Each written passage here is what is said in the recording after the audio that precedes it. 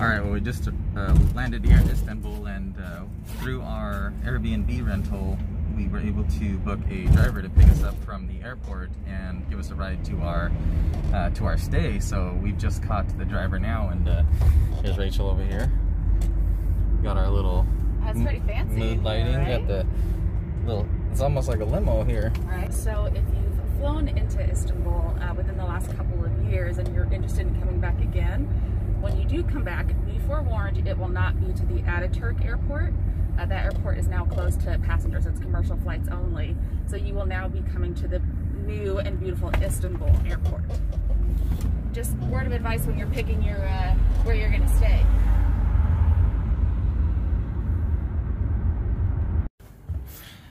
All right, here's a real quick view from the uh, patio of our rental.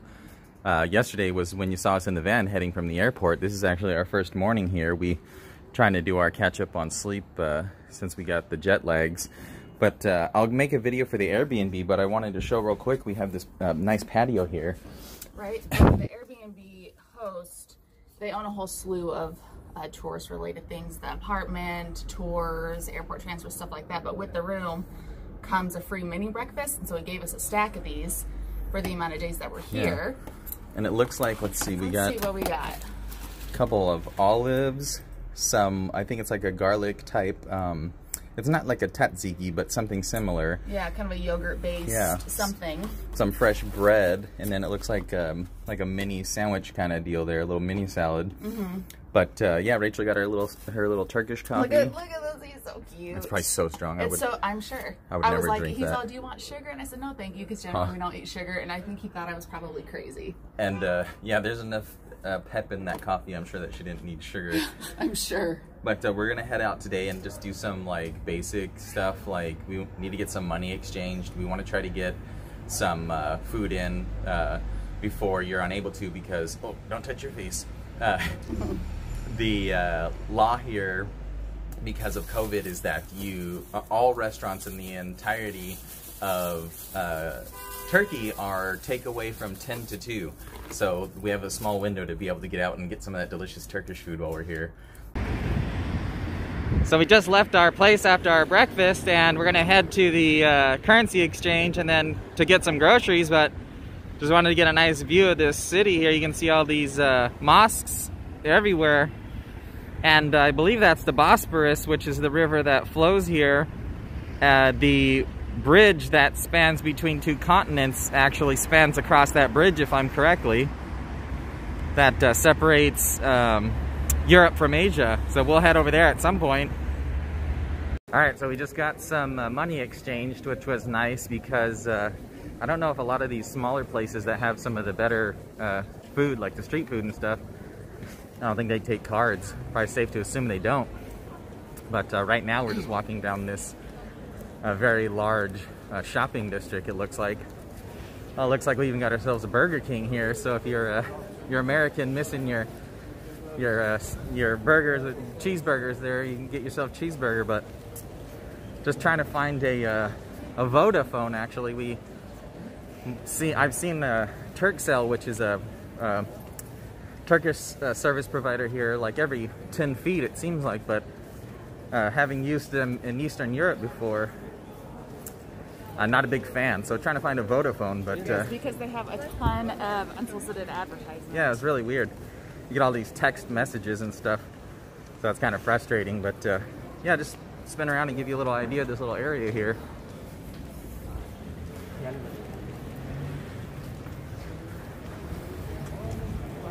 So I think these old trolleys are pretty dated.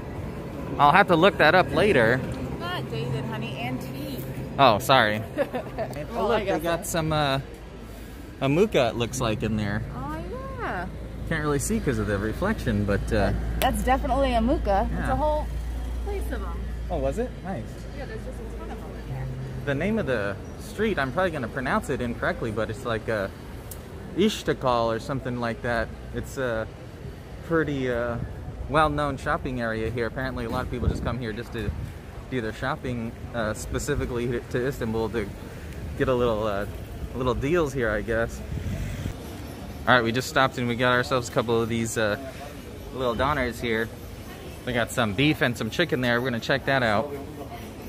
Gotta have a little fuel to keep us walking around. We're still trying to find the uh, appropriate cell phone place. So our journey continues, but now we have a little food in our bellies. All right, guys, we just got our food here, and we're just sitting here on the side of the road. There's not really like a park or something, so we're just sitting down on the side of this little uh, shopping mall. Right, and it looks like a construction zone, so hopefully we won't be blocking anyone's entry. Right, but uh, Rachel's got her uh, little, uh, I'm gonna call it a Turkish burrito. Otherwise known as a doner kebab. Well, we got two. She got a like a medium, and I got a, a large one, the chicken ones. And it was roughly ten dollars. How is it? You get any flavor yet? So good. That chicken is so good. Oh, all right, guys, I gotta go. I gotta eat. All right, so we had a change of plan briefly. The um, excuse me, the uh, Vodafone actually required you to have your uh, passport in order to register your SIM card. So we have uh, abandoned that for now. We're gonna head back towards our place and uh, try to get some groceries along the way. Maybe drop the groceries and then get our passports and go get some SIM cards. I think the guy was saying it was like 170 lira for like 20 gigs or something, which if you do the math, it's probably not terribly bad. I'll do that math here in a bit, but uh, it's a little bit of that little uh, extension of this main shopping street we were on, just a little side street that we're heading down. Little veg shops and things of that nature. All right, here's our little lot from the corner store here. I'm gonna show you where it was at. So we just got back from our little journey to get our phones. So just right there on the very corner of that building is a market. And then here's like a fruit and veg shop. And then actually like directly underneath us is a bakery. But uh, we got uh, a couple meals worth of food. And I'll tell you, uh, before we came here, the people we kind of learned through videos and stuff, and maybe through people's opinions, that uh, everyone's very uh, hospitable, right? Like, yes. uh, Very friendly. yeah, like there was a point when we were walking before we were on that one strip when we were trying to find the uh, exchange place, and these guys were just sitting in their car and they saw us like looking at our map, and then the guy said, "Hey, um, you guys need help?" He's like, "Are you American?" Which is awesome because uh, he recognized our accents. Believe it or not, people actually uh, immediately always assume we're like German or something. I don't know. We get that mostly. We get a lot Yeah. of Deutschland, Deutschland. Right. So we're like, no, and then they're like, oh, because I think uh, a lot of Europeans, maybe specifically um, people in this region, they can speak German, so they see us, they think we're German, they want to speak German to us, but we're like, sorry, we, we're, we're American, you know. Oh. But uh, getting back to my point, people are very friendly, and these guys were like, "Hey, can we help you?" And we said, we, "We're trying to find this." He said, "Well, look here," and you know, and sent us on our way. But um, something I noticed in videos was like people, the guy would like, "Oh, let me take you there. Let me take you there." Yeah, actually, the guy he was eating lunch in the car, Yeah. and he said if I didn't have an appointment now, I would take you there myself. Right. Which you Um, know, which I felt he was very genuine. Right, right, and, right. and of course, you know, we didn't take him, right. take him up on that, yeah, we didn't take him up on that, and you know, uh, use uh, offers like that uh, in Wisely. Wisely, yeah, yeah, yeah, cautiously, of course. But anyway, I wanted to show you guys. We got uh, some quick uh, meals here. We got four of these like ramen type uh, noodles, and then we got a couple of cans of diced tomatoes and noodles, so we can do like a simple uh, noodle dish. We got some. Um, Sunflower oil. So one thing we've realized living in Spain as we do and uh, traveling Europe is uh, there's a huge um, uh, usage of sunflower oil here. So that's pretty good. So you always right, find yeah, that. it's not like canola oil or vegetable oil. You have the option of olive oil or sunflower oil. Or um, yeah, olive oil. you know, which is which is perfectly fine. Actually, sunflower flower oil Is- is better for you than the canola oil. So For that's, sure. that's good. So we got that, couple meals there, um, some honey for our tea, and uh, we'll maybe get peanut butter and bread as well. Some eggs, uh, nice thing of butter there, some chamomile teas, and then these two large waters. we Uh, got this pistachio chocolate bar. Um, Yeah, we- we- we're- pistachio. I think is like the main ingredient in desserts and stuff here. Whether it's the Turkish delight or the baklava or whatever, they always put want to put like pistachios in it. So we figured we'd give it a shot. for sure. So all that was like I think slightly under fifteen dollars, uh, which you know I, it's not the best price, but it's it's a decent price I think. And uh, oh, the guy at the shop Was awesome. So friendly. He I went to university in the UK, so he spoke Is that he English very yeah Oh, nice. English very very well. yeah, Um, he was so kind and friendly, and we're gonna go back there just to um, have a an experience with him Yeah. again because he was very kind. And here, real quick, I wanted to show. My lens dirty? Sorry. Um, this is some Turkish lira here. Look, I want to point out this guy here. It's the same on all of the dominations. This is Denominations? yeah, denominations. What did I say? Dominations. dominate.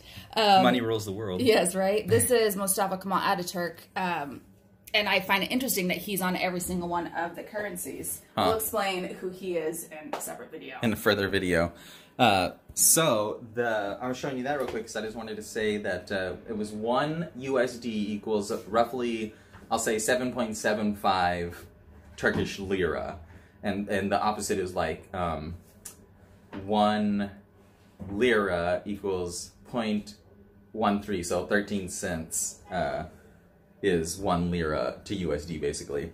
Uh, so yeah, there's your basic uh, conversion for you. But uh, yeah, we're gonna maybe head back out and take our passports and try to get those SIM cards. Maybe who knows? At this point, I, I've actually had that food and we got groceries, and I didn't really sleep well last night because we were jet lagged, and uh, so yeah, I'm uh, now I'm like slowing down. So we'll see here in a bit uh, if we get back out. All right, so I decided I'm gonna end this video for the day here because I think we're gonna be lazy now and maybe plan some stuff for tomorrow. It was such a beautiful day that I I feel uh, I feel like a waste going and just laying and resting. But you know you gotta rest your body so you don't burn out because it's supposed to like be cloudy and rainy for uh, uh, like a week or two. But uh, real quick, here's uh, I think like the more like businessy area of Istanbul down well, way far over there and a little view around the corner too actually here of uh, just the area around us. But yeah just wanted to give everyone a real quick idea of our first day here. And uh, if you're interested stay tuned. We'll be uh, traveling here for at least the 90 days which is the full um, allotment of uh, time that our visa allows and uh, geez, maybe if I can find find it in me, I'll uh, shoot a video of this Airbnb real quick.